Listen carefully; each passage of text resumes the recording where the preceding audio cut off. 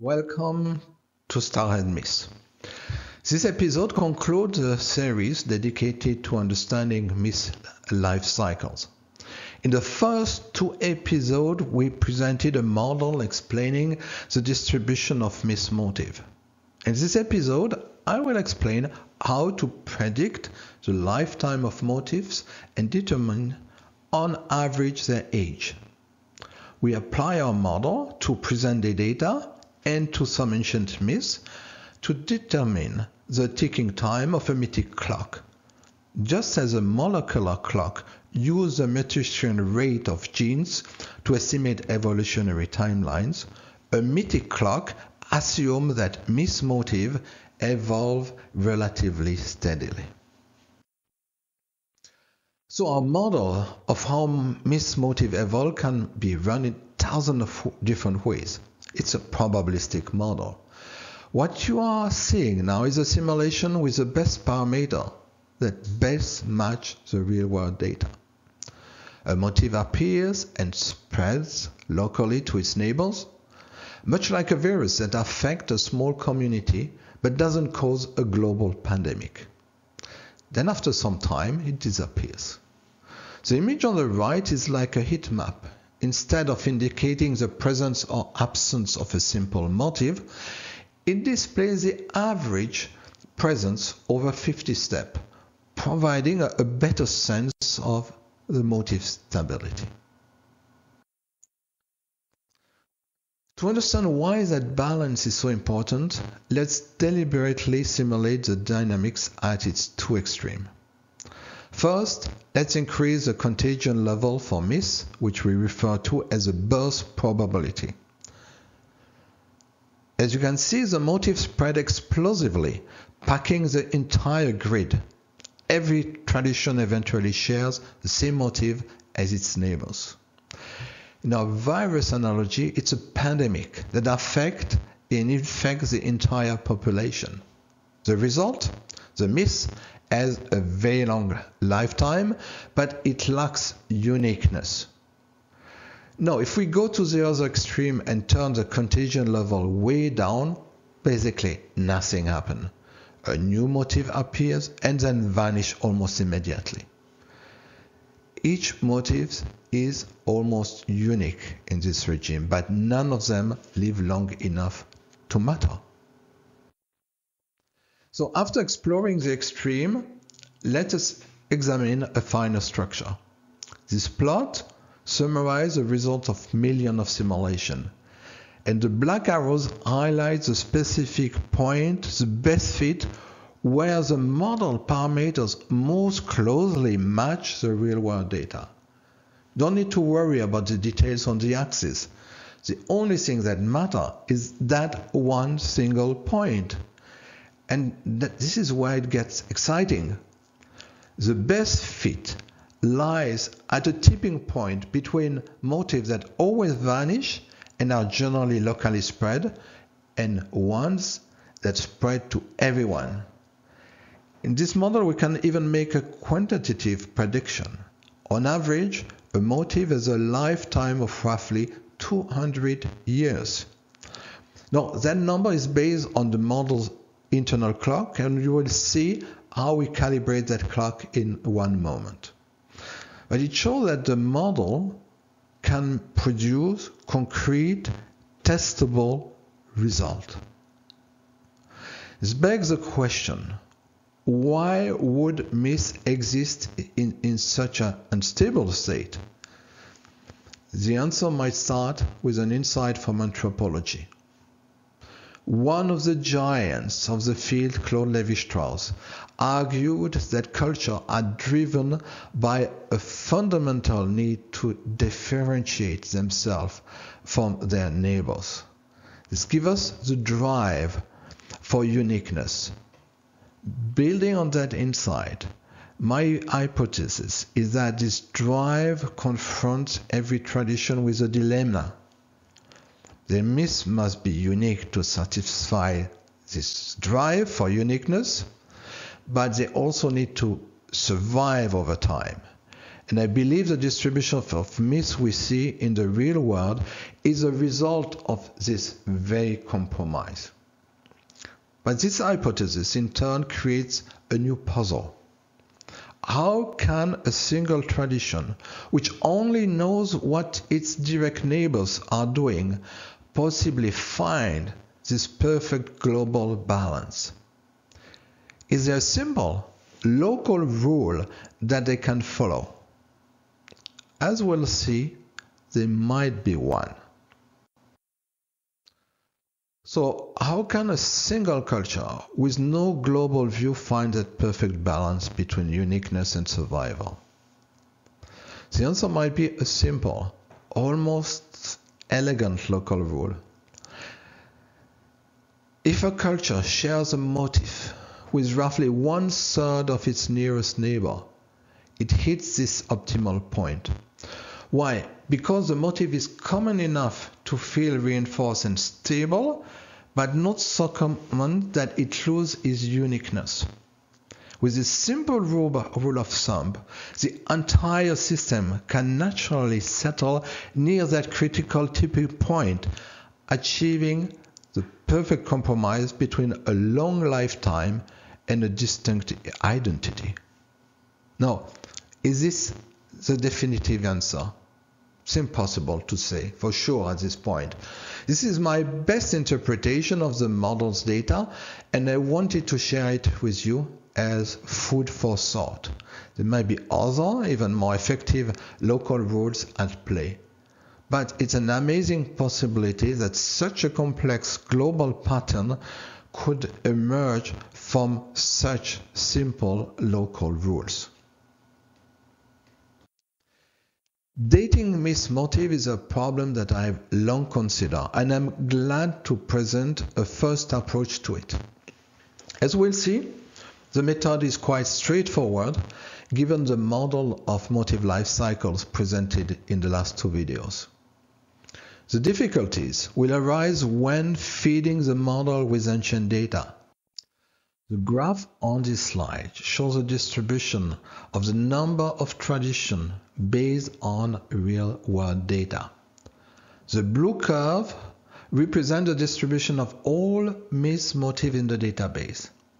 The red curve is a distribution restricted to motifs known to have existed approximately 2000 years ago, including ancient sources from China, Egypt, Rome, and Sumer, all located in Eurasia and Africa, as we lack all data from other continents. You can see that the two curves have different shapes. This is because over the course of 2000 years, motifs with shorter lifetimes tend to disappear, leaving only the long-lived motifs to survive. We'll use this difference in shape to estimate the conversion factor between our simulation steps and real years. It's essential to acknowledge the practical limitation of this ancient data. It is a strong restriction to use only Eurasian and African source.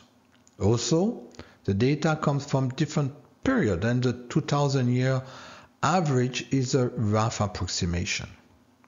And I think the most major source of uncertainty is how myths were preserved up to the present time, either primarily through uh, oral transmission or through continuous written tradition as seen in Greece and China. And we must really keep this limitation in, in, in mind. The core assumption that we'll use is that the fundamental process of myth propagation was the same in the past as it is today. Therefore, if we could go back 2000 years and take a snapshot of all the myths existing at that moment, its distribution curve would have the same shape as a modern blue curve does today. The ancient red curve is what remains after two millennia, having filtered out the short-lived motif from that original snapshot. Let's walk through exactly how we derive that conversion factor. The overall goal is to artificially age the motifs with our model, represented by the original distribution shown in the blue curve at the bottom left. The core assumption, again stated at the top right of the slide, is that the distribution of mist 2000 years ago had the same initial shape as the distribution today.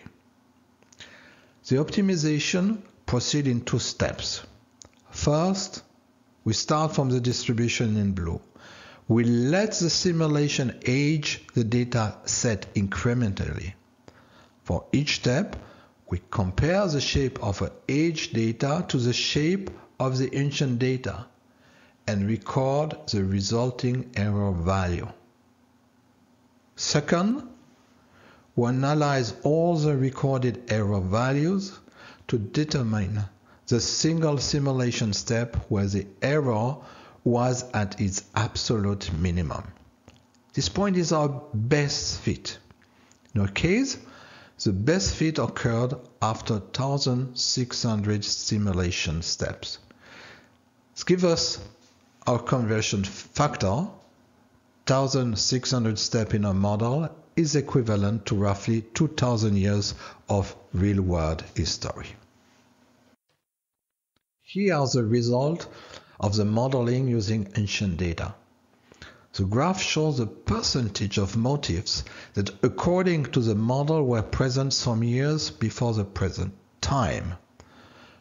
One observes a factor of 2.2 difference between the light blue curve representing the best fit for ancient Greece and ancient China, and the rest of the ancient civilization represented in dark blue. The red curve corresponds to the average. In other words, ancient Chinese and Greek motifs have better withstood the test of time than those in language that are mostly forgotten and have been propagated orally for much of the time.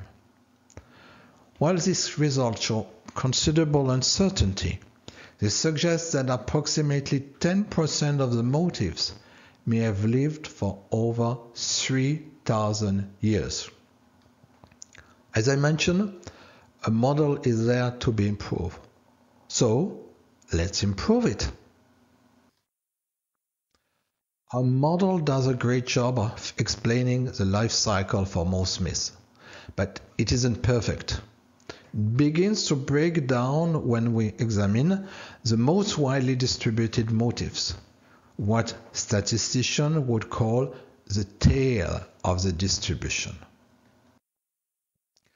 And when we look closer at this specific region of our data, the tail, containing the most widespread motifs, we find something interesting. This area has a disproportionately high number of sky related motifs. These widespread motifs include sun moon motifs and a motif about the separation of sky and earth. We also find recurring ideas such as a rainbow being a, a giant serpent or tales of powerful thunderbirds. And very importantly, this group includes a widespread motif of stars being seen as people, which contains the stories of the Pleiades as a group of people. To see exactly what's happening with the data, let's zoom in on the tail section, technically by using what's called a log scale. When we do this, we see precisely where our models start to fail. For motifs with more than 100 to 150 instances, the real world data diverge uh, from our model's prediction. This suggests that these super widespread motifs behave differently. Therefore, we can significantly enhance the fit by developing a new single model that is a weighted mixture a superposition of two distinct models. Here's how it works. The principal model provides 90% of the weight of the, this new mixture. The second model, which provides the remaining 10% of the weight, has a slightly higher birth probability. When we can combine them in this way, the new curve fits the data significantly better as you can see here. With this episode, we conclude the presentation on modeling myths and folk tales. I hope it wasn't too difficult to follow with the many plots. In our next episode, we'll discuss stories in East Africa, Europe, and Southeast Asia, where the Pleiades are a hen with its chicks, and we dive into the history of the domestication of that animal. And here are some references if you want to dig further. Stay tuned. Bye bye.